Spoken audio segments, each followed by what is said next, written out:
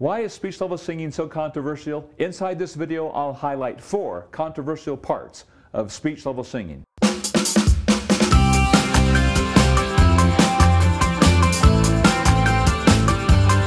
Hi, I'm Chuck Gilmore with Power to Sing. In episode 93, I explained why I think speech level singing, SLS, is revolutionary. In this video, let's talk controversy. Everything in my videos are my opinions and observations. I'm not a spokesperson for Seth Riggs or speech level singing. In my opinion, SLS is controversial because Seth Riggs is controversial. First, Seth is uncompromising in his approach to teaching. This immediately offends the man. Offends the man. Because the world is run by the man. Who? The man. Oh, you don't know the man? The establishment, and often offends many others.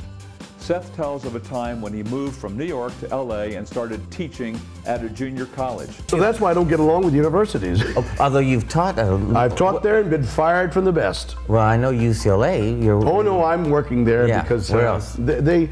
Well, I got I got kicked out of Cal Arts because at the end of the first semester, 19 kids wanted to switch to me. Uh-huh. Instead, because I was producing with what they wanted. you get results. Well, that's the point. But why didn't they, they fire the bad teachers and keep me? I didn't care. I was working for Bob Fosse and, Mm-hmm. and Gwen Verdon at the time. What did I care? I'm a New York pro. You know, I spent uh, three years solid on Broadway and six years at New York City Opera. I was a member of the, Link, the original company at Lincoln Center. You know, uh, I have a master's in opera theater. I have an undergraduate at Johns Hopkins University. In other words, I have all the, uh, that make me acceptable academically, but I knew I needed more. I knew I needed more, and that's what I found out what to do.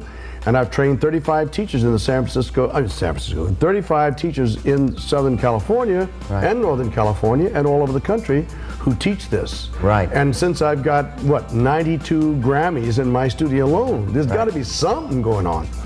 At the semester, over a dozen students quit their teachers and transferred to Seth Riggs.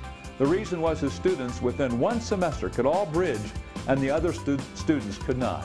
Instead of seeking to learn from Seth, the department fired him.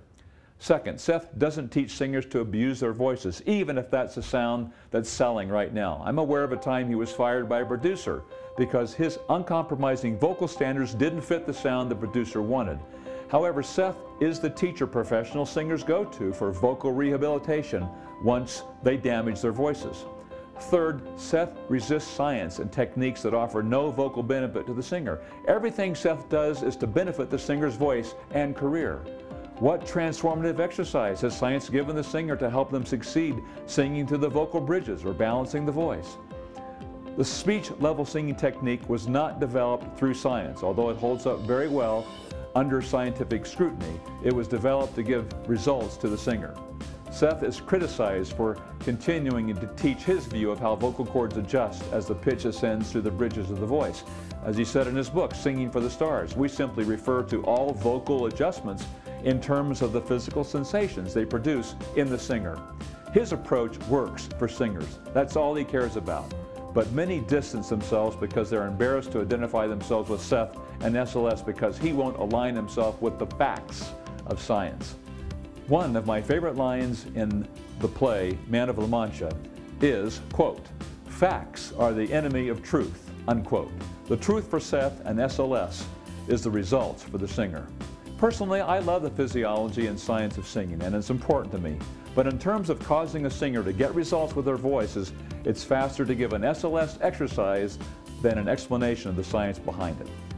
Fourth, Seth is critical of university or other singing programs that can't teach the students to bridge. He obtained bachelor's and master's degrees at prestigious schools of music without any professors able to teach him how to sing through the bridges into head voice. I had similar experiences with university degree teachers who had no idea how to teach me to bridge. I'm talking about PhDs in music, opera singers who couldn't teach me. I share Seth's impatience with other techniques that don't teach the student how to bridge without reaching, or that default into falsetto to sing above the first bridge. To me, that's a waste of the student's time and money and is doing them a disservice. Seth will not endorse other teachers or methods that won't give the, speak, the singer results with a healthy voice and a long career. Criticizing teachers and programs may be the truth, but it can cause bitter feelings and controversy toward speech level singing. Because I hope you don't mind me uh, bringing this up or Yeah. saying this, but I do sometimes pick up that there are other uh, vocal teachers that sometimes resist your your style of teaching or your ideas.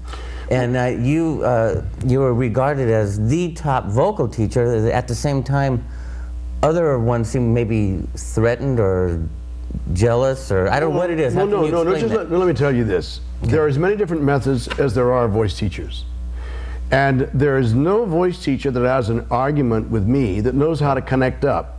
Just to say it is one thing, but you've got to do it. I have no argument with any voice teacher Yeah. that is connecting voices, but those who are yelling and abusing chest and the kids that have breaks and all the little children, you know, Mm-hmm. that's terrible. So Uh-huh. that those are the only people I argue with. The results of SLS on my voice and the voices of my students has not been controversial. SLS has enabled me to sing better than I thought possible. My students are experiencing similar success. I credit Seth, his teachers, and the speech level singing technique. The exercises at powertosing.com are a few of the exact exercises that help me to learn to bridge. They're most effective when you know your vocal type. My particular vocal type is pull chest high larynx.